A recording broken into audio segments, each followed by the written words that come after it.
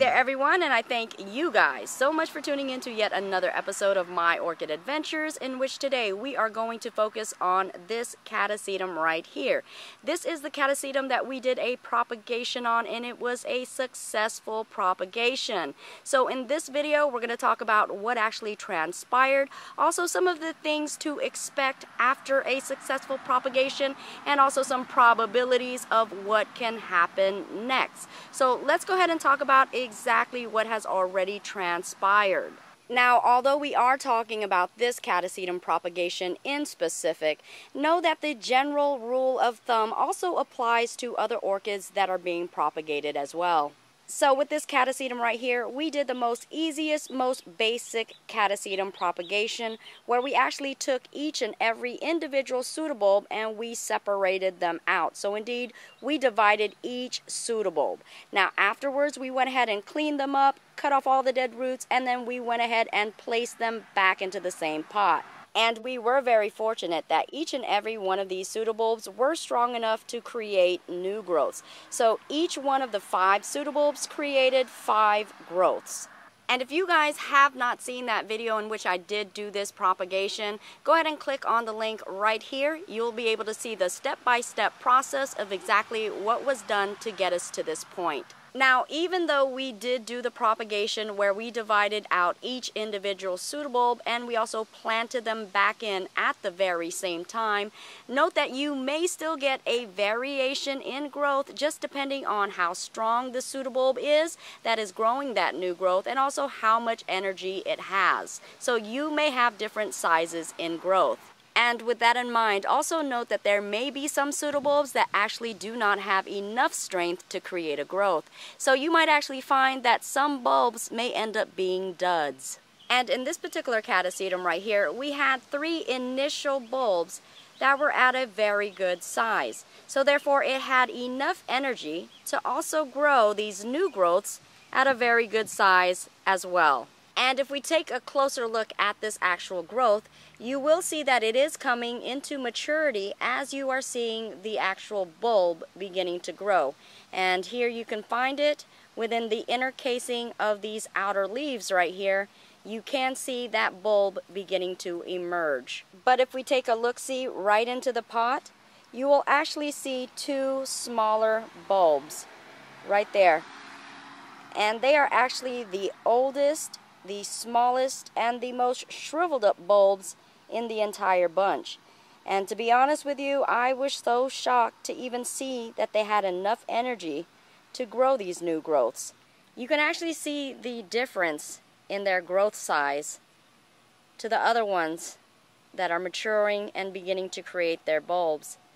These little guys right here look like they are so far off from even thinking about growing any bulbs. And I will show you a top view of the other ones that are maturing and are of good size.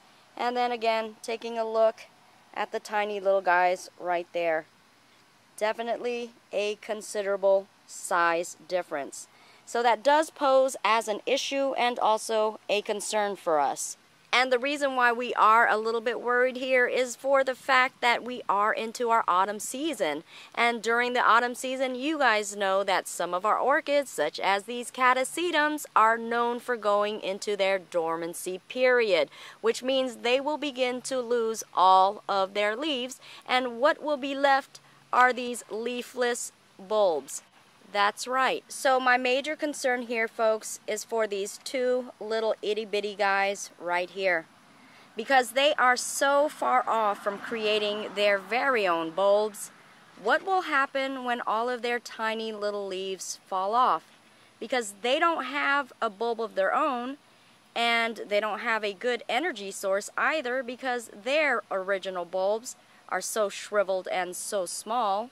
So will they have enough energy to survive the winter? That is the question. Now, I'm not overly concerned about their bigger siblings because, again, they do have their bulbs coming and also they have good initial bulbs as well to sustain them. So I do believe they have enough strength to carry them through.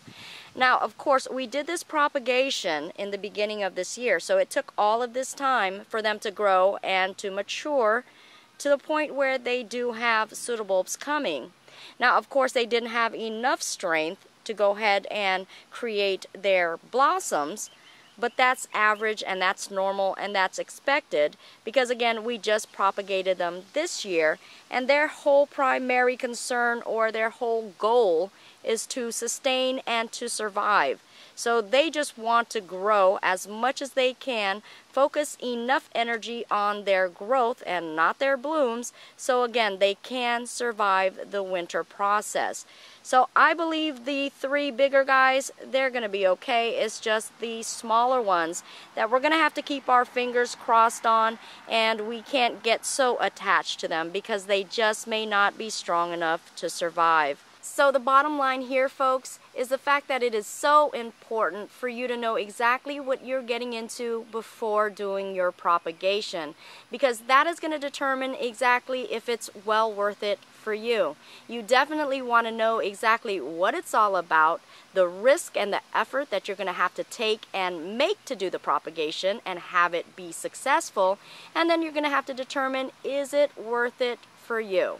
And a very important thing to note when you are propagating a catasetum, do not expect any blooms from your catasetum within the first year, perhaps not even the second year or the third year. It just depends on how strong your orchid is, how fast it will grow, and how quickly it can get enough energy to where it's at a point where it can even bloom. Now, if you are interested in your catasetum orchid doubling up in size, doubling up in the amount of new growths, and doubling up in the possible potential of having many spikes, then indeed this could be a great option for you, of course, if you don't mind the wait because with each individual bulb that has successfully grown a new growth has become its own individual plant.